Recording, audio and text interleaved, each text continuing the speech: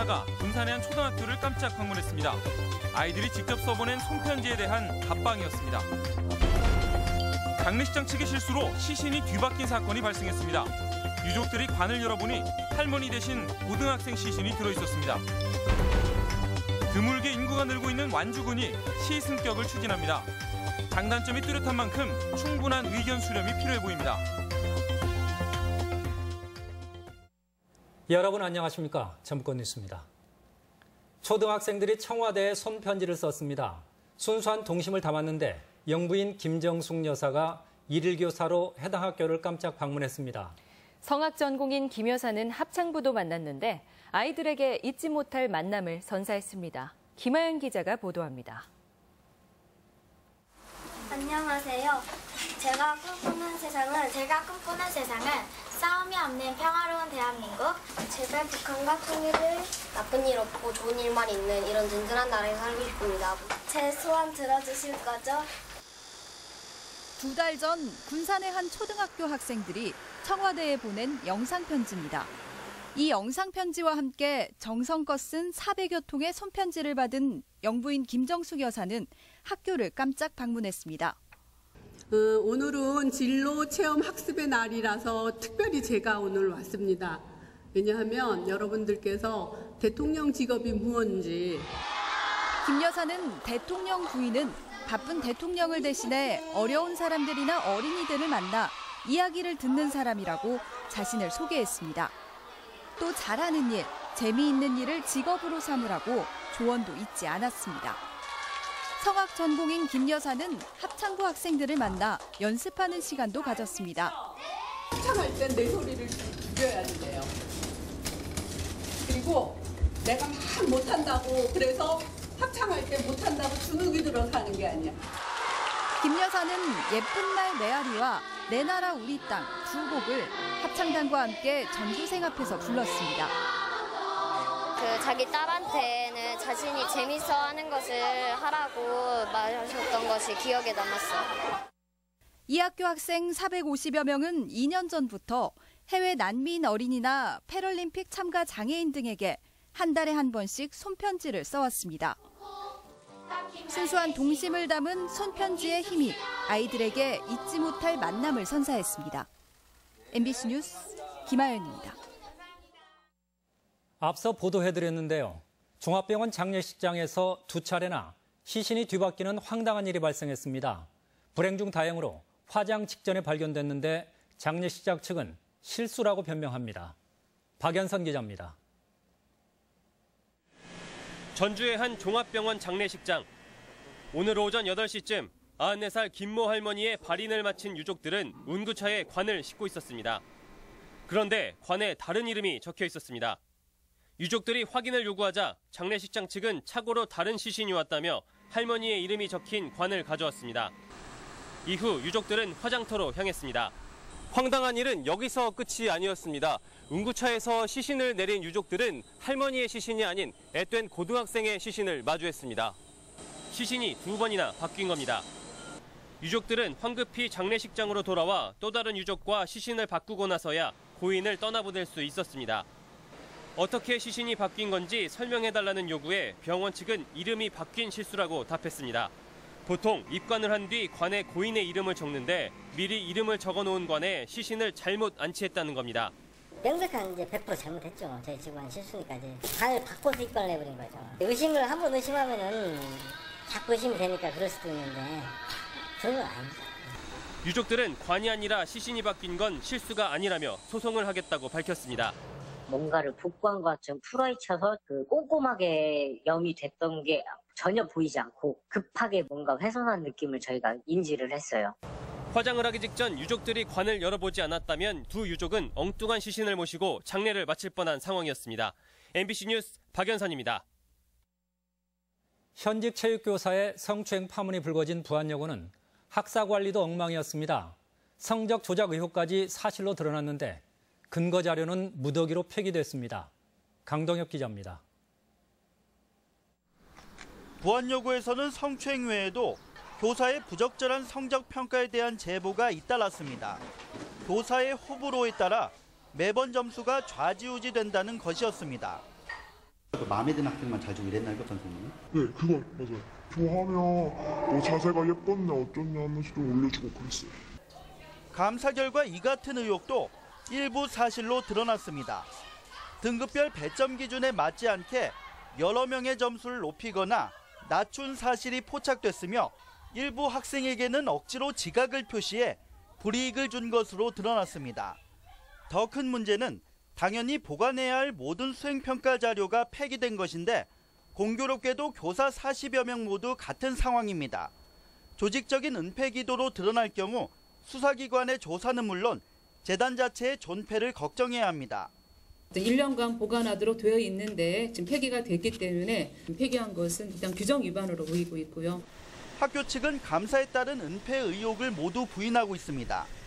조금 미비했다고 볼 수는 있어도 없다고 볼 수는 없죠. 저희가 그렇게 성- 성적 처리를 그렇게 할 수는 없으니까요. 구속됐거나 수사 중인 교사 3명 외에도 추가로 7명의 교사가 폭언이나 금품 강요 정황이 드러나 부안 여고 파문은 계속될 전망입니다. MBC 뉴스 강동엽입니다. 외지업체 독식이 우려되던 새만금 사업에 지역 건설업체 참여 비율이 크게 늘었습니다. 입찰 자격에 아예 기준을 명시했는데 아쉽게도 아직 권고사항입니다. 유룡 기자의 보도입니다. 3,400억 원이 투입된 새만금 동서도로. 도내 건설업체 참여 비율은 12.5%에 불과합니다. 5,400억 원이 투입되는 남북도로는 이보다 적은 7.5%. 제주는 곰이 넘고 도는 왕서방이 챙긴다는 말이 나오지 않을 수 없습니다. 2014년부터 지역업체의 참여 비율을 높이라는 지적이 꾸준히 제기됐는데 3년여 만에 결실을 맺었습니다. 가트라인 기준을 95점으로 상향 조정하면서 어, 지역 업체가 참여해야지 어, 입찰 자격을 어, 부여받을 수 있는 형태로 대형 업체가 컨소시엄을 구성할 때 전라북도 업체를 30%가량 포함시켜야 입찰 참가 자격이 부여되도록 기준을 바꾼 겁니다. 형평성 문제로 개정에 난색을 보여온 기재부가 문재인 정부가 들어서자 입장을 선회한 것인데 지역 건설업계는 늦었지만 다행이라는 입장입니다. 이번 기회를 계기로 해서 우리 지역업체가 어, 새만금 사업에 많이 참여해가지고 지역업체 발전에 예, 좋은 계기가 되었으면 아, 이 문제로 새만금 개발청장 경질론까지 꺼냈던 전라북도는 지역 인력과 자재 사용은 여전히 권고사항이라며 추가 조치가 시급하다는 입장입니다.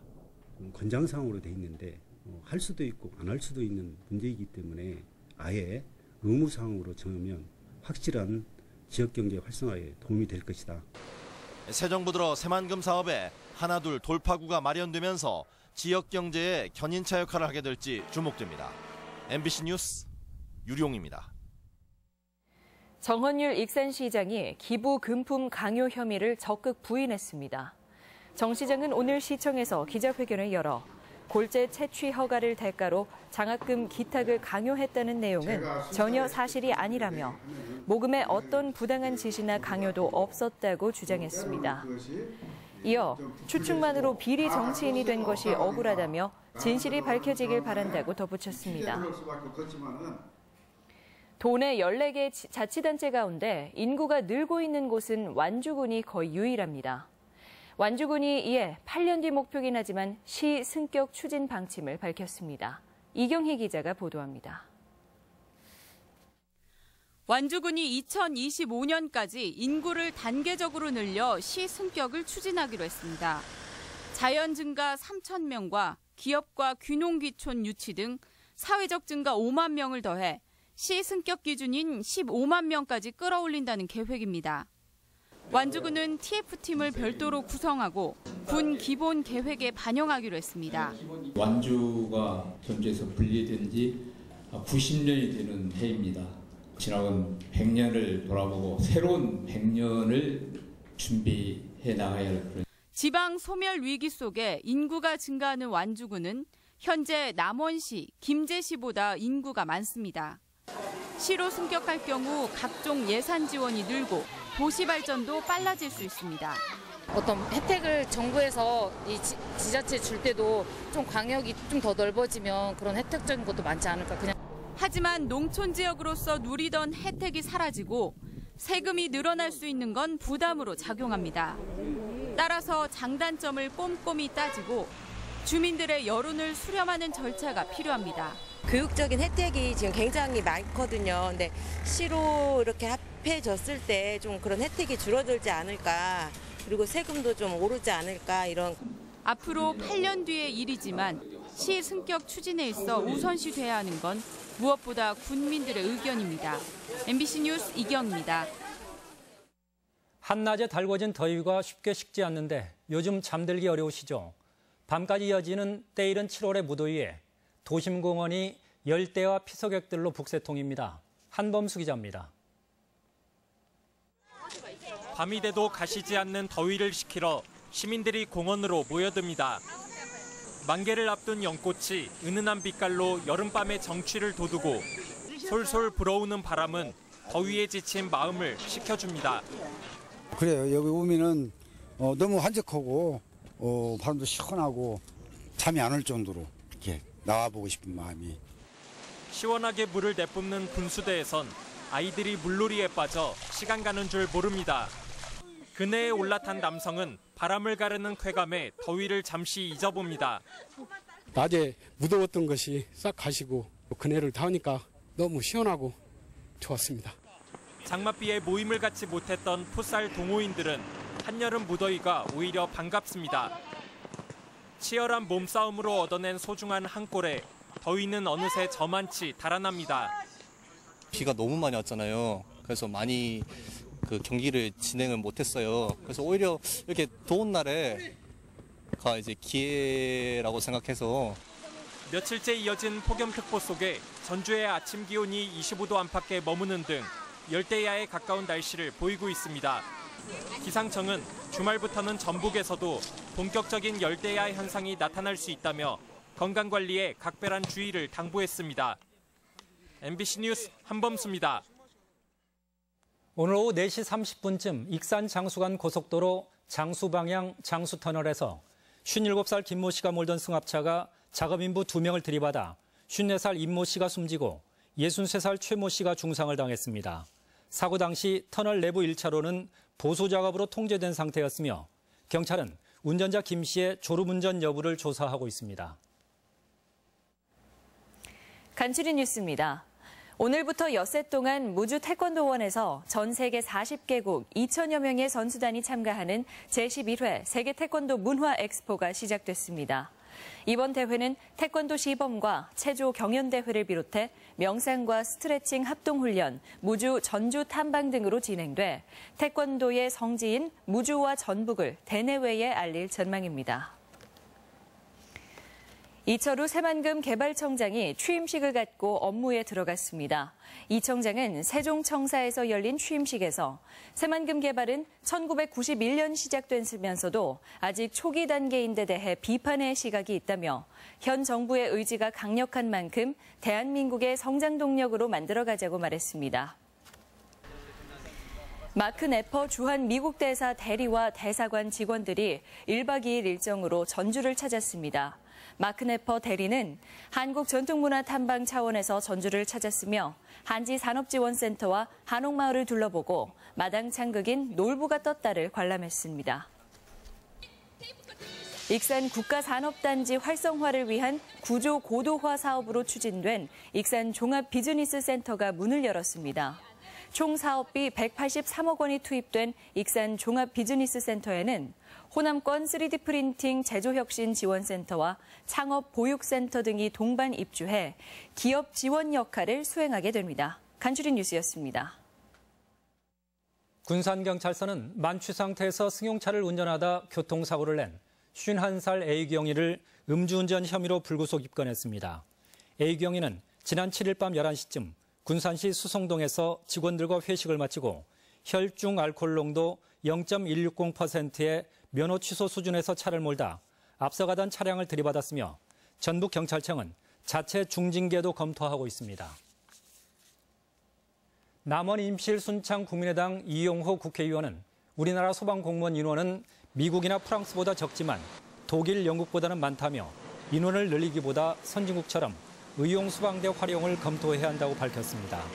또 최근 화재보다는 구제 구, 구조 구급 수요가 급증하고 있다며 관련 소방관을 우선 증원할 필요가 있다고 덧붙였습니다. 전기차에 대한 관심이 높아지면서 상반기 전라북도의 전기차 증가세가 전국 최고를 기록했습니다. 국토부에 따르면 올 상반기 도내에 보급된 전기차는 129대로 지난해보다 많았습니다. 전북권 뉴스였습니다.